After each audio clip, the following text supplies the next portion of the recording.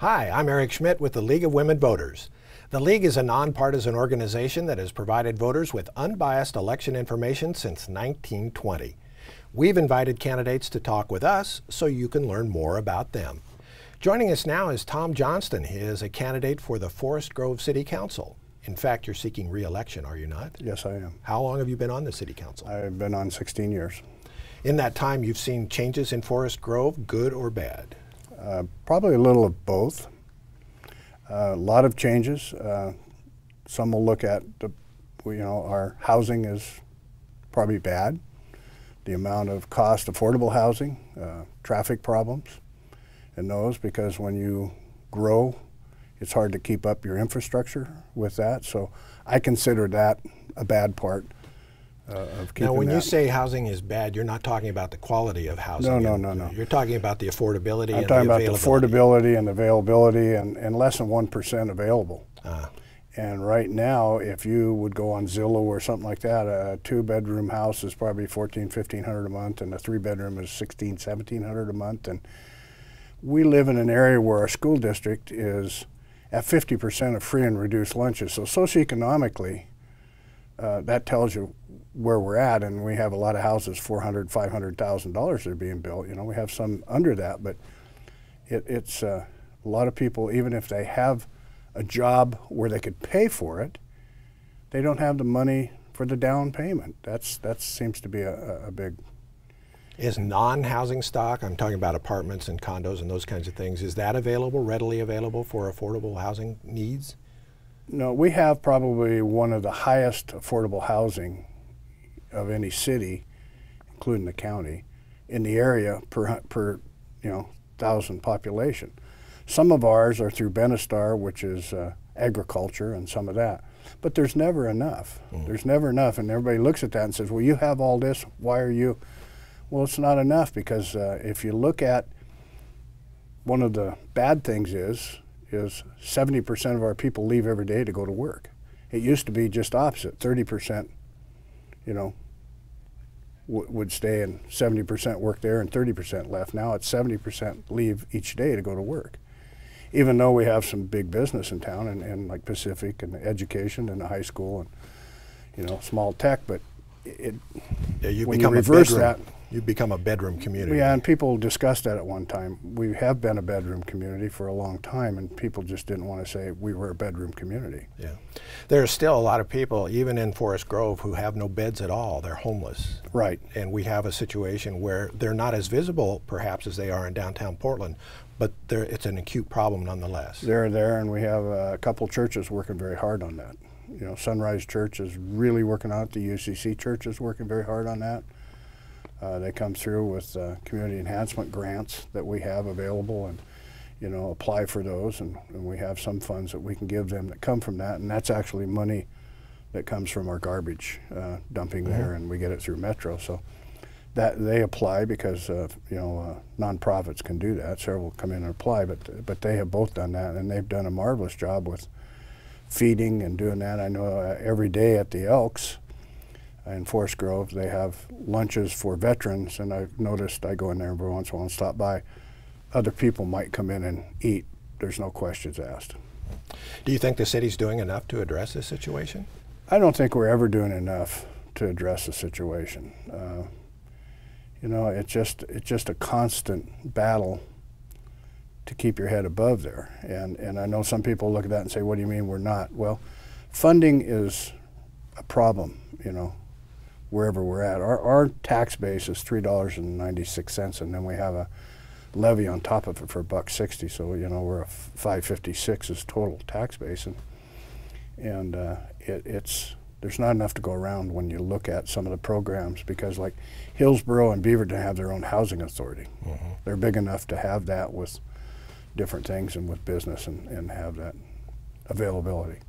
Forest Grove is part of the Metro family, if you will. Yes, we are. Can you work with Metro on some of these issues? Uh, for instance, we, you, do you support the, the measure that's uh, on the ballot for affordable well, we housing? have we have worked with them, and and the measure you're talking about is a about a $650 million budget, and it would come back to be about $60 per household on a $250,000 house.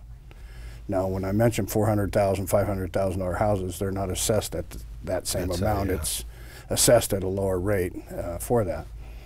And and if you do that, and you, and it, what it does is it divides it up between the three counties: Multnomah, Washington, Clackamas. We would get thirty-four percent of that. So Beaverton and Hillsboro each get six percent. So then that leaves the other. There's 19 cities, so that leaves 17 cities get that other percentage there at 1.2 percent. So it's it's going to be pretty minimal. And there is an argument that each county already has their own housing. So why aren't the counties putting up the levy without going through Metro? Because um, there was a lot of questions that came out of that, like upkeep, and if there's vouchers, who's going to pay for the difference between what the affordability is and what the voucher is?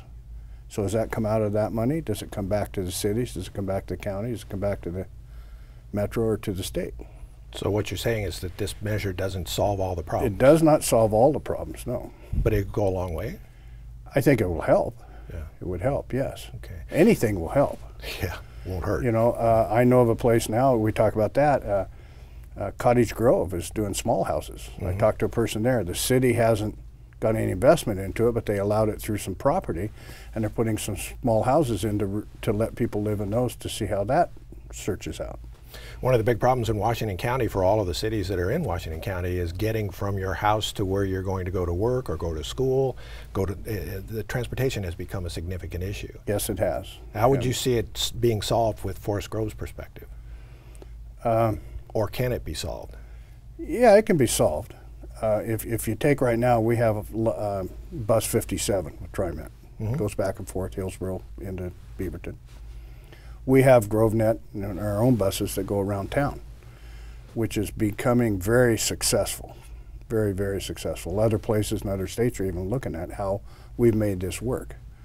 So we're trying to get that where people can move around and students, it goes by the high school. So after hours, kids can partake later in school and still be able to get home. We need to expand that probably to Cornelius because our school districts are the same. Yeah. You know, there's a lot of things like that uh, to do that. But uh, the train line that's on the north side of town is not being used hardly at all. It's a 40 foot right of way. And I think eventually Oregon Department of Transportation owns that. And way in the future, I would like to see that used for pedestrians, bicycles, and buses between Forest Grove, and it goes right straight to the Hatfield Station in Hillsboro. If something like that could work and the smaller buses work off of that on, on TV Highway, I think that would be the answer. Do you think you can get the other cities involved, interested in it? I think we can get Cornelius involved in it, it's going to be Cornelius and Forest Grove So it'll be your call. and federal money. Yeah. I have to ask you before we go about broadband and broadband accessibility, access to the internet in Forest Grove. Do you think that it's a beneficial uh, municipal responsibility to have that kind of infrastructure in place? I would love to see it if we had the amount of money to put it in ourselves. But right now we have to rely on other companies to put that in. And as I discussed, uh, we're probably going away from towers and we're probably going to more closer in with making that work. And being Forest Grove owns its own power and light company, we have one of the cheapest power around, other than maybe McMinnville, I'll say that. Um, but we have our own poles, so we're going to be attaching these things on the pole so that houses could have better workings. So one of your campaign themes is move to Forest Grove, your light bill will be lower, Yeah, and our water and lights are a lot lower than many places. and I assume that's something you want to keep in place if you're really. Yes, yes, we have our own watershed for water.